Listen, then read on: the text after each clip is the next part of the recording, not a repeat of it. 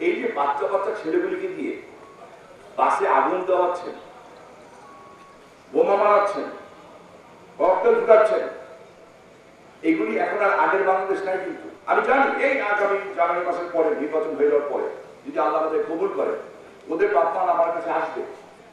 এসে বলবে, আমার ছেলেরা, আপনি বাঁচান। আমার ওদের বাপমার প্রতি মায়া থাকবে, কিছু কিছু করার থাকবে। আমার বিএনপি ভাইদেরকে বলতে চাই যারা এই বাচ্চা বাচ্চা ছেলেদের বাপ মা, তাদের বলতে চাই, যখন আপনার ছেলে কোর্টের বারান্দায় দাঁড়িয়ে কাঁদবে, যখন তার কনভিকশন হবে, সাত বছর, আট বছর আমাদেরও খারাপ হলে আমাদেরটাও হবে সাত বছর, আট বছর, দশ বছর, দুই বছর, কিংবা যাবজ্জীবন। যখন হবে যে নেতা আপনাকে নামিয়েছে মাঠে, ওদেরকে, ওরা কিন্তু থাকে না। আর তার একটু আমার লন্ডনে বসে আরামে থাকে। এবং এখনও আরামে ওর তো মার প্রতি দরদ নেই।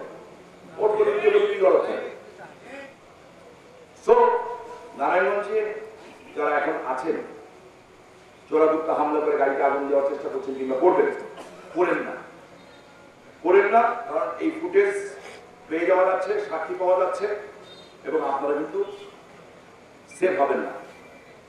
গতবার ছাড় দেওয়া হয়েছে, এইবার সিদ্ধান্ত হয়েছে যে গতবার সহ এইবার পর্যন্ত, এই গত কয়েকদিন আগে তো আঠারোর মামলায় বেশ কিছু নেতা সাজা হয়ে গেল কনভিকশন হয়ে গেল পত্রপত্রিকা দেখলাম তাই না?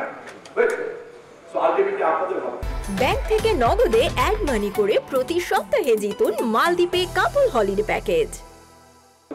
যারা নারায়ণগঞ্জের সন্তান আমি তো এমপি শুধু আওয়ামী লীগের এমপি না আমি তো সবার আমি আমি যে কাজগুলি করছি এটাকে আওয়ামী লীগ ব্যবহার করবে? না।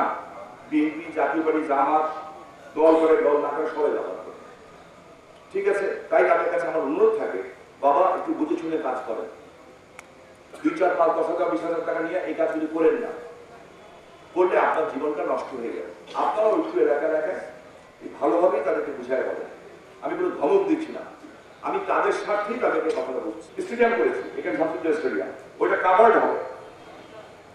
আমার দাদার নামে ছিল খান সাহেব, ওসমান আলী স্টেডিয়াম।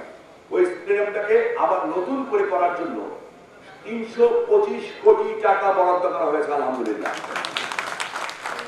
তাহলে একটা বুঝেন আপনারা, রাস্তার পার দিয়ে যাচ্ছেন, medical college, university, technical college ITD institute, Khan Shah Osmani stadium, আন্তর্জাতিক স্টেডিয়াম হ্যাঁ এবং একটা মেডিকেল কলেজ যখন হয়, তখন ওটার পাশাপাশি কিন্তু অনেক ক্লিনিক হয়।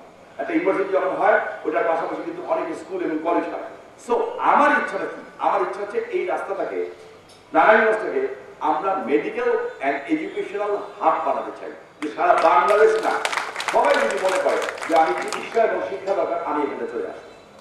আমরা ঢাকায় উপরে নির্বাচিত হবার ব্যাংক থেকে নগদে অ্যাড মানি করে প্রতি সপ্তাহে জিতুন মালদ্বীপে কাপল হলিডে প্যাকেজ আরেকটা সুখবর দিয়ে রাখি ইনশাল্লাহ যদি আল্লাহ আব্দুল আমিন আল্লাহ রহমান রহিম আল্লাহ গাবুর রহিম যদি আমাদের ক্ষমতায় আনেন আর আমার মা শেখ হাসিনা আমার মাতৃতুল্য শেখ হাসিনা যদি প্রধানমন্ত্রী হন